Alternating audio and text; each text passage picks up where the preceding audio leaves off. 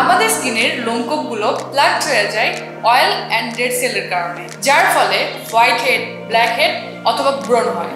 ব্রণ টিনেজারদের মধ্যে সবচেয়ে কম, কিন্তু এটা সব বয়সের মানুষকে প্রভাবিত করে। এজন্য ভালো মানের স্ক্রাব ব্যবহার করা প্রয়োজন, যা আপনাদের স্কিনকে এক্সফোলিয়েট করে ভেতর থেকে ডেড স্কিন সেল রিমুভ করে স্কিন পোর্স আনপ্লাগ করে এবং একনি স্কার রিমুভ করে। তাই আপনার স্কিন ভালো রাখার জন্য সাবু শপ নিয়ে এসেছে power laser pink scrub pink স্ক্রাবের main ingredients হলো অ্যাপ্রিকট কার্নেল যা লাইট এবং নন স্টিকি স্ট্রেচের ফ্রুট এটিতে অ্যান্টিসেপটিক অ্যান্টিব্যাকটেরিয়াল অ্যান্টিঅক্সিডেন্ট এবং অ্যান্টি এজিং বৈশিষ্ট্য রয়েছে, যা স্কিন থেকে অ্যাকনি ফাঙ্গাল অ্যাকনি পিম্পল দূর করে।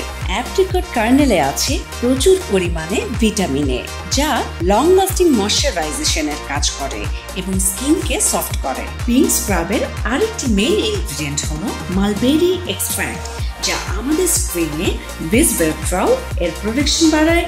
এখন আসা যাক এই স্ক্রাবটি আপনার কি কি উপকার করবে। পিঙ্ক স্ক্রাব ব্যবহারে আপনার স্কিন বেবিদের মতো নরম হবে। এই স্ক্রাব ব্যবহারে আপনার স্কিন লেজার ট্রিটমেন্টের মতোই নিখুঁত হবে আর গ্লাসের মতো গর্তহীন হবে। স্কিন ডিপ ক্লিন করে স্কিন ড্রাই না করে স্কিন থেকে এক্সেস অয়েল দূর করে। স্ক্রাবের মাধ্যমে ছোট ব্রণ দূর করতে সাহায্য করবে।